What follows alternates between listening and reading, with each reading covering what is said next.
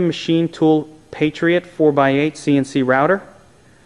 And as we pan forward on this machine, we can see uh, this particular model has a 5 horsepower HSD tool changer spindle.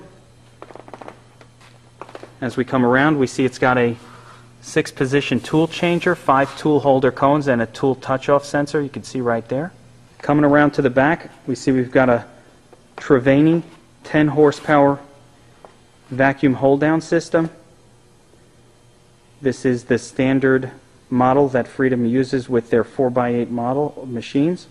Here we have the Fagor 8035 control system, a hardwired industrial controller. We're talking to Bill Oberg from Freedom Machine Tool um, about this Patriot CNC router. Bill, what makes your machine unique or different from all the other machines in this price point? Kevin, uh, I'd like to start and answer that question here. I'd like to start looking at the table.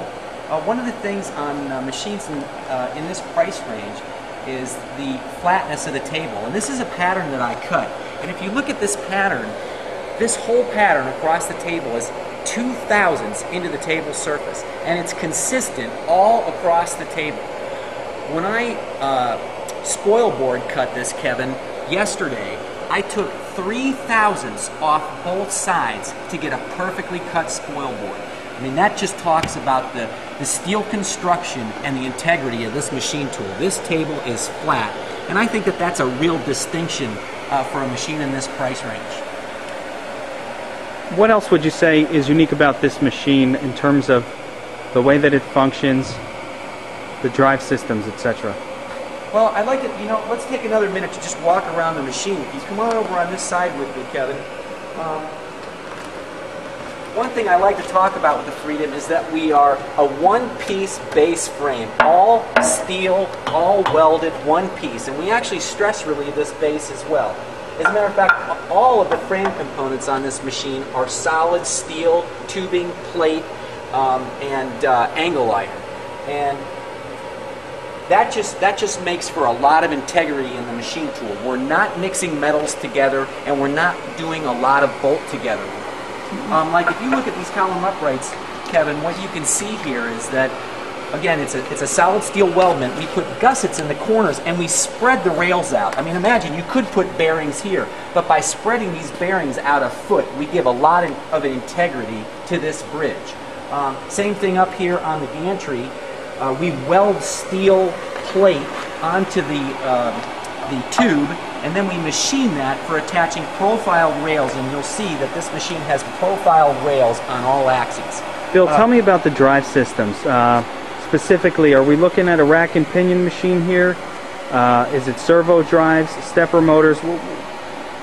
Yeah. What type of drive Um, system do you have? Kevin, what we're using is we're using precision ball screws on all axes, and we're coupling those with brushless AC servo motors. Uh, as a matter of fact, our whole control system, and this is a Fagor 8035 control, as, as you pointed out, and we're also using Fagor brushless AC servo motors and Fagor serving amp- servo amplifiers, and they're all a matched set. So that it's a real strong, again, industrial control system, and then we're matching it up with very nice precision ball screws. Let's get a look at the ball screw. Okay, we've taken the cover plate off the machine here, and here's the ball screw across the x-axis. There's a couple of things I'd like to point out to you here, Kevin.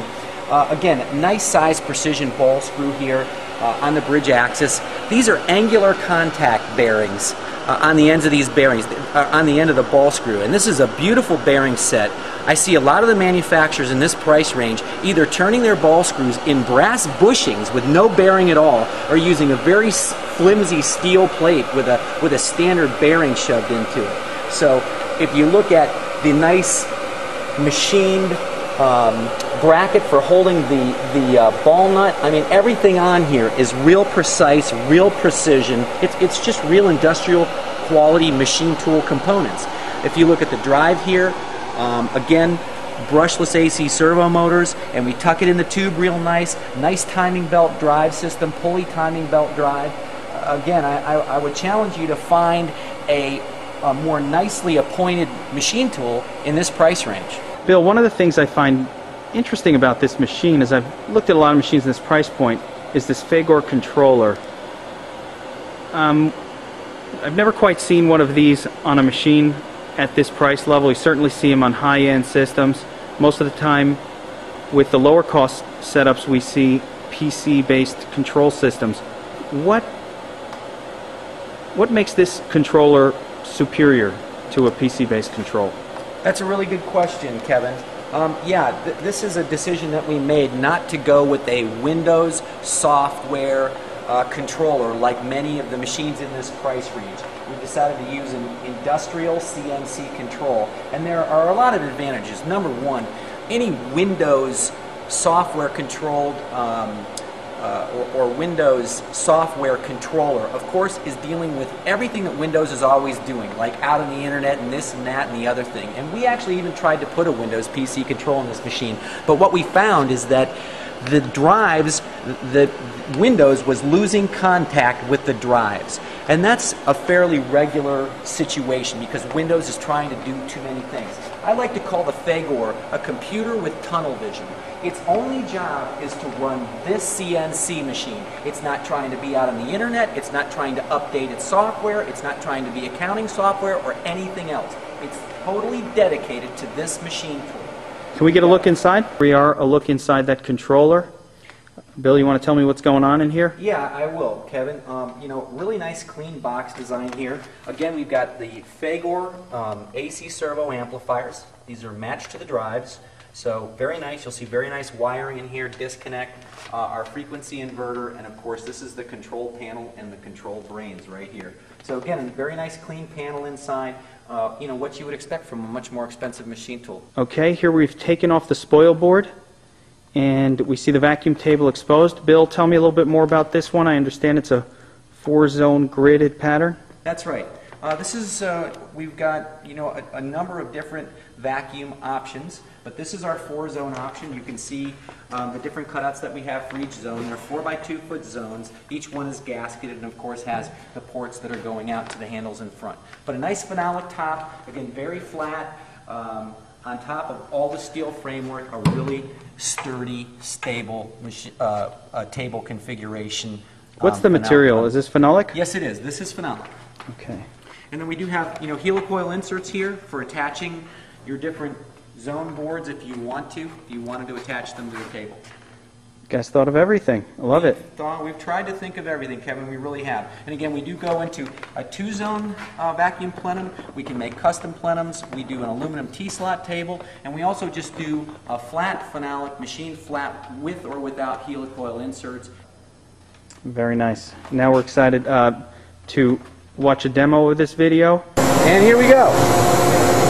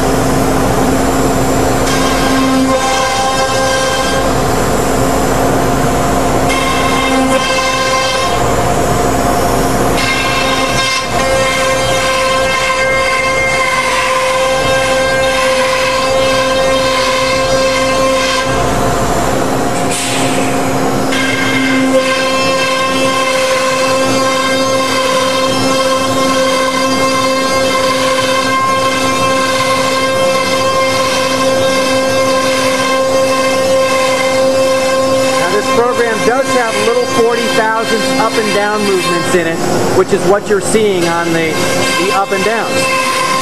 And I guess they're leaving little little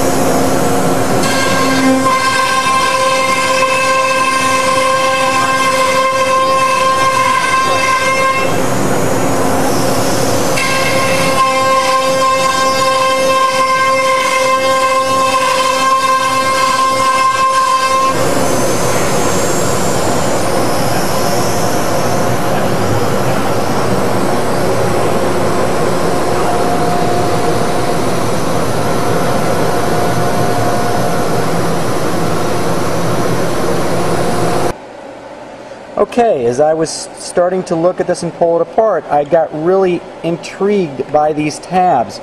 You see the tab on this part? I mean, it is so thin, none of these parts moved, and look at this. There's your piece. It's flawless, just flawless. Here's the next one. This little fellow right here didn't move an inch. Look at that. Right out of the board, like butter. This was a demo file sent to us by AMSEC, and as I pointed out during the cut, they're using tabs on the full sheet. We really only needed tabs for the small parts. In any case, the parts snapped out beautifully, which speaks to the flatness of our table and the care we take to square up the spindle. Thanks for watching this Freedom Machine Tool video.